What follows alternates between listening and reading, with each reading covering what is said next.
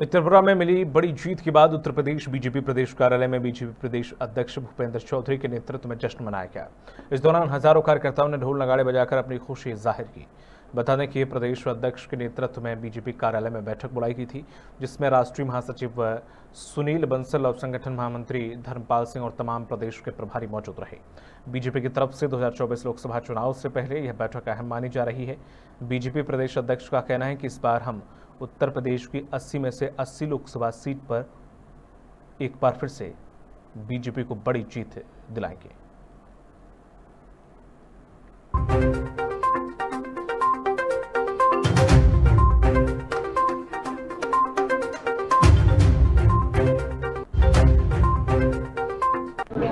Bharatiya Janata party को बड़ा जनादेश मिला है। त्रिपुरा में हमारी पूर्ण बहुमत की दोबारा सरकार बनाने का अवसर हम लोगों को मिला है, भारतीय जनता पार्टी को मिला है। नागालैंड में भी हम गठबंधन के साथ सरकार बनाने जा रहे हैं और मेघालय में हमारी राजनीतिक शक्ति बड़ी है। मैं सभी तीनों राज्यों के सभी सम्मानित मतदाताओं का धन्यवाद करता हूँ, आभार प्रकट करता हूँ कि उन्होंने एक बार हमारे नेता, देश के प्रधानमंत्री नरेंद्र मोदी जी के नेतृत्व में हमें काम करने का अवसर दिया है।